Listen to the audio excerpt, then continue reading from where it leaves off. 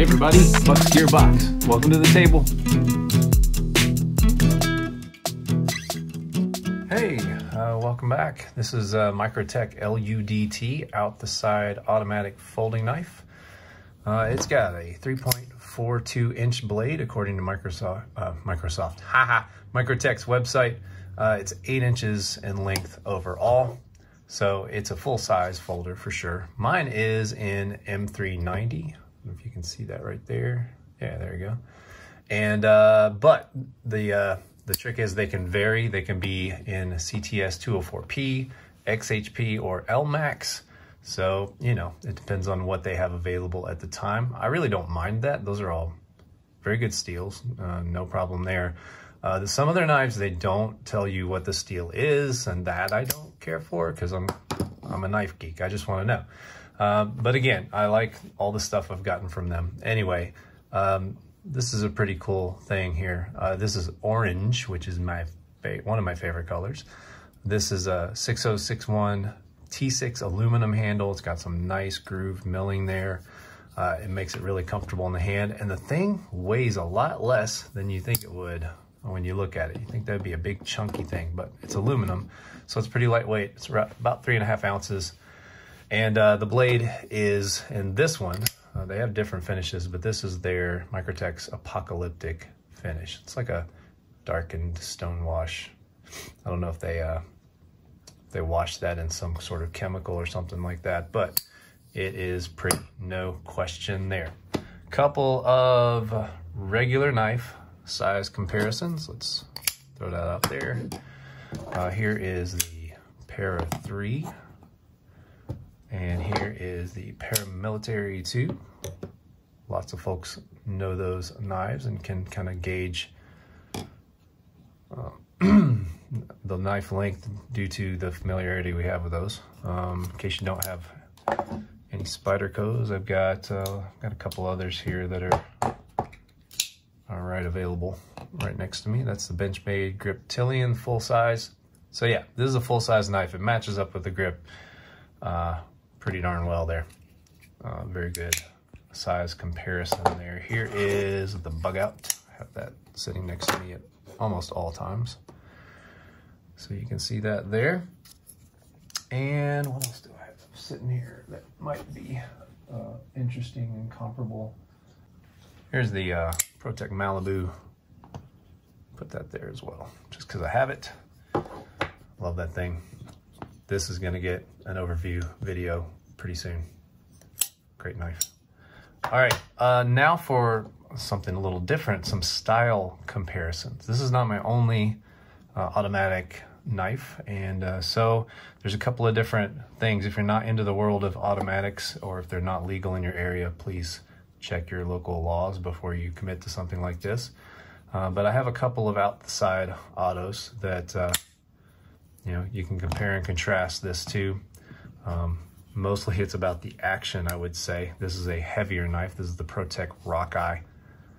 And uh, it's got a little more powerful mechanism in there, but the uh, LUDT is just right in its strength for its size, for sure. Flips right out. Maybe not quite as powerful as uh, the Rockeye. There's also, I have another ProTech. This is the Newport um, and uh, it's a really kind of a lightweight gentleman's carry style thing. It's really attractive looking. And, um, you know, a little bit different in style for sure, but these are my other two out the side folders. Um, and, you know, this is the one I would wear in a suit if I had to ever wear a suit. I like wearing suits. Um, this one is just a beast of a knife. This thing is huge, heavy, and uh, gets the job done, no question. Uh, this one is probably more, well, it's a little bit Goldilocks right there in the middle. It's great for everyday carry because it's so lightweight. It's very slim in the pocket. Um, it just, it's, it's very comfortable. So I find myself gravitating to this one a lot over those two. There are also, of course, out the front autos from Microtech specifically. They, they are kind of, in my mind, the premium out the front brand. If you wanted an out the front, um, pocket knife, uh, Microtech, you can't really go wrong. They are expensive, but when you get one in hand, I, I never thought that I would want something like this. And then I got it in hand at River's Edge. And I was like, okay, I kind of get it now. Um, now, I carry this with me a lot, but it's kind of a secondary carry. It's not my, my main one. Out the fronts are, I don't like them as much as I like out the side, but that's just me. Um, your mileage may vary. Um, a word on legal stuff. You know, automatics may not be legal in your state, in your city, in your country. I live in Ohio in the United States, and they are very legal here.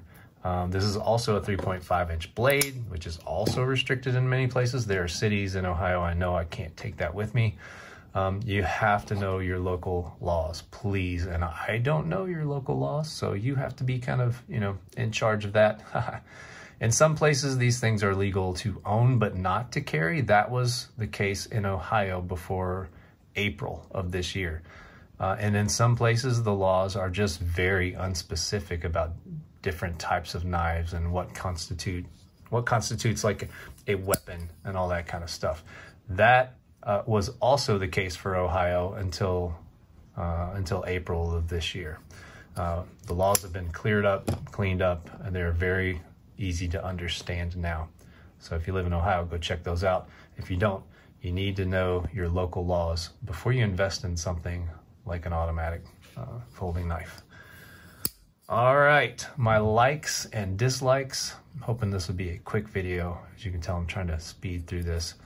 My last one was super long. Okay, most of my dislikes about this knife are based on its looks.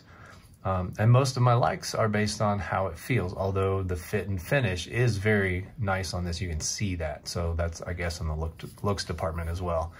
But to me, this thing looks cool, but not, uh, not exactly beautiful. This is kind of a knife geek knife, uh, a knife geek thing, kind of a uh, look at how cool my knife is, guys. That kind of that kind of thing. But this isn't something I would take on a date night. You know, like not that my wife cares really, but um, you know, it's just not that vibe. I would take a, a nicer looking thing, maybe like the uh, the ProTech Malibu, or not the Malibu, the ProTech Newport, or the Malibu for that matter. More attractive knife in my mind. Just you know, uh, it's kind of geek versus beauty in some ways. So, but I really like the way it looks. Um, I love the color. Uh, I love the fact that I found it in orange. Um, there's a lot of different colorways for the aluminum. I love the apocalyptic blade finish. I love the blade design.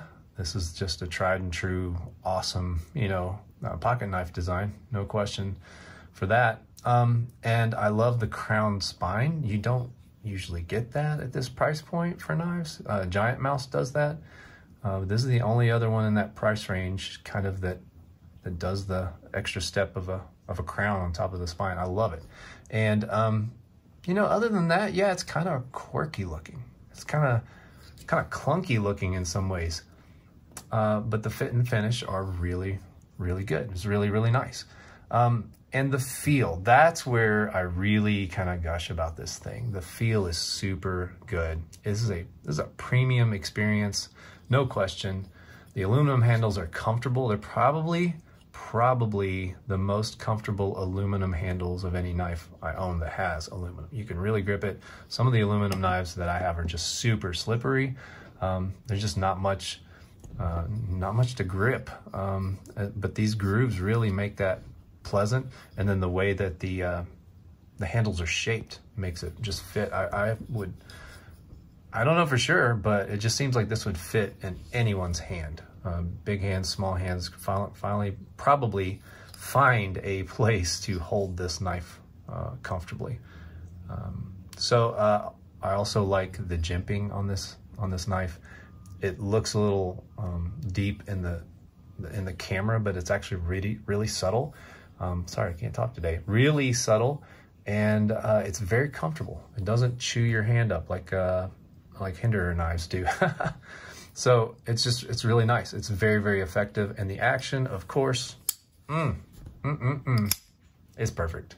It just, it's just perfect. It's not super fast, uh, but it doesn't take a day to get out there either. It's ready to go. And yeah, I really dig this thing. A couple other niggles, yes. Um, this is uh, proprietary hardware. Uh, they don't really want you taking apart their knives. All of Microtech's knives, as far as I know, at least that are being released these days, have that uh, triangular looking thing. You can buy one of these. You can buy like a, a, a bit for that.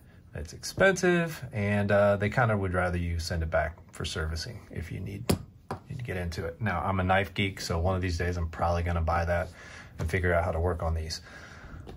Uh, can I recommend it? Yup. If this is legal in your area and you want an easy to carry, everyday carry automatic knife, if you can find one, these are rare, but they come out at a kind of a steady trickle. I was lucky to find mine used. But yeah, if you want one, if, if you want something like this, this is a great, a great out the side folder. If you can't find one of these, one of my next favorites would be the Newport from ProTech. It's a little bit smaller, but it is one of my favorites to carry. Uh, if you want something beefier, you could get the Rockeye. It's huge. Anyway, that's it for this, the Microtech LUDT. Hopefully this video has helped you. Please like and subscribe if it did, if you like this kind of stuff. And uh, I'll keep making the videos. Thanks a lot. Have a great day.